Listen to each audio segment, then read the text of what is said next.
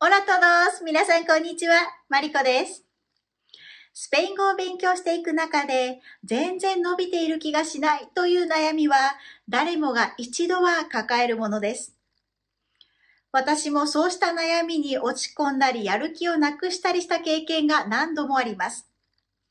でも残念ながら、スペイン語の上達に魔法はありません。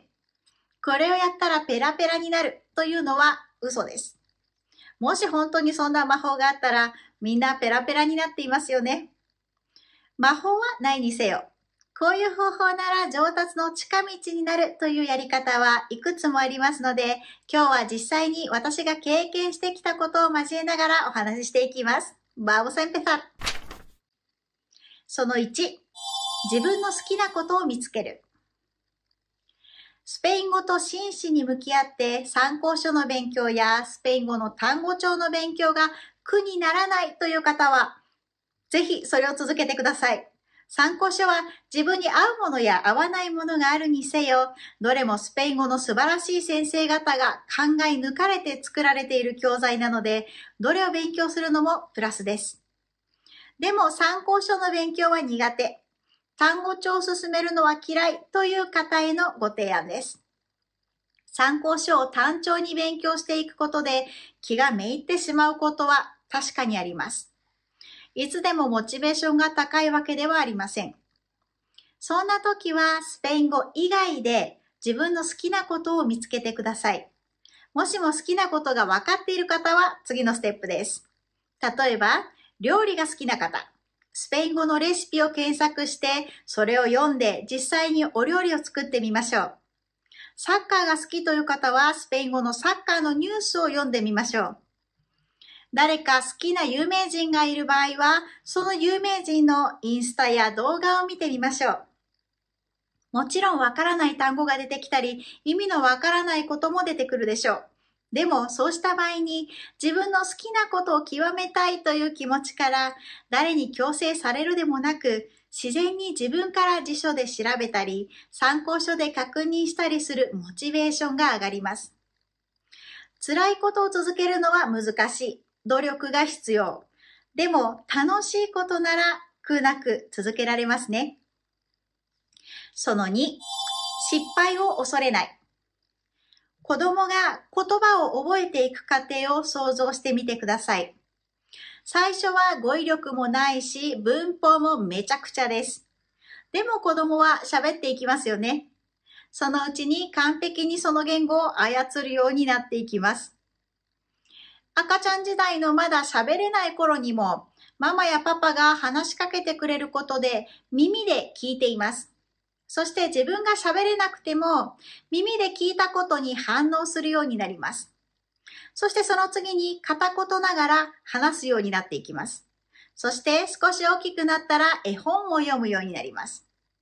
そして最後に自分でも書くようになります。この順番が実はとても大事です。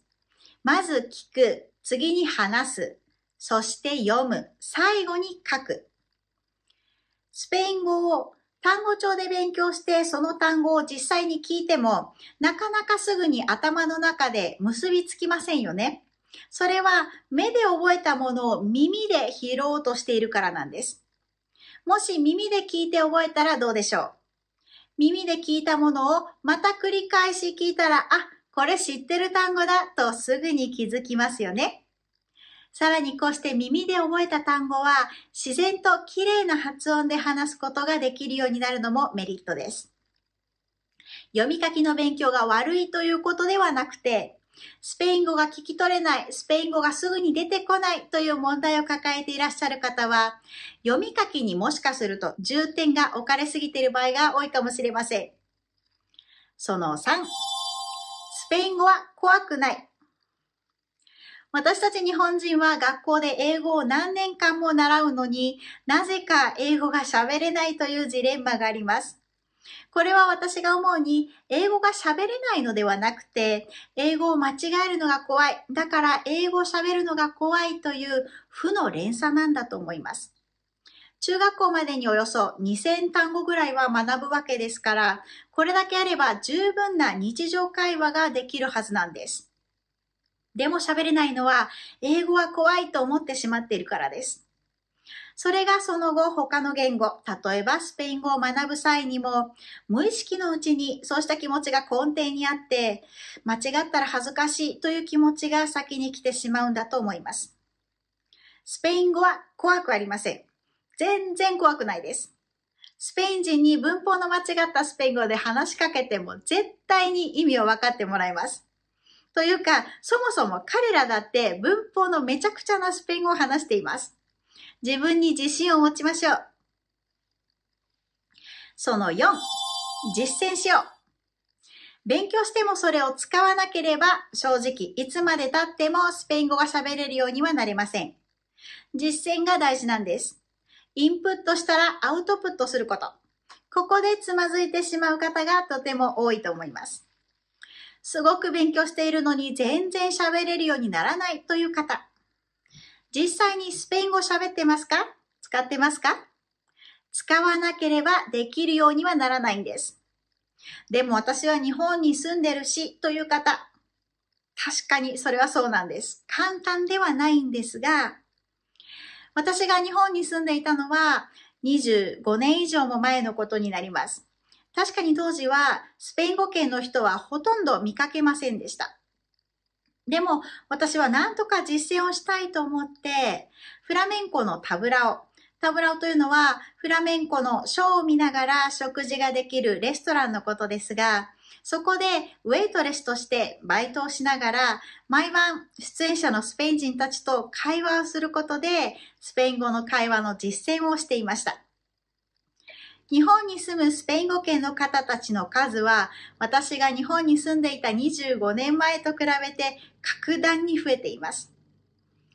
東京にはスペイン語圏の文化の普及を目的としたインスティトゥート・セルバンテスもあって、イベントなどに参加することでスペイン語圏の方と知り合える可能性はとても高いです。友達も作りやすいでしょう。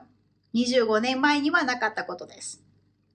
また今では低価格でネイティブによるオンラインのスペイン語講座などもあって実践できる場は格段に増えています。要はやるかやらないか、一歩踏み出せるか踏み出せないかの違いです。その後、大事なのは魅力的な人間になること。先ほどスペイン語圏の知り合いや友達を作ることの重要性をお話ししたばかりですが、もし自分がスペイン語を上達させたいだけの目的で誰かに近づいていってはダメです。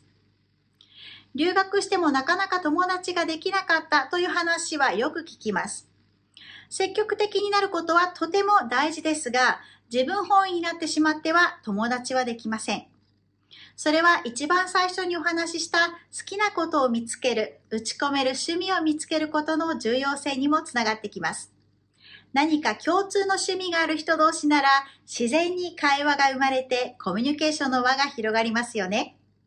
相手も自分に興味を持ってくれるようなそんな魅力的な人間になるのは大切です。いかがだったでしょうか？スペイン語上達のために必要なこととして今回は初級編をお届けしました。次の動画では中級、上級の方で伸び悩んでいる方に向けたアドバイスをシェアしたいと思います。こちらの動画が役に立ったと思ったらぜひいいねお願いします。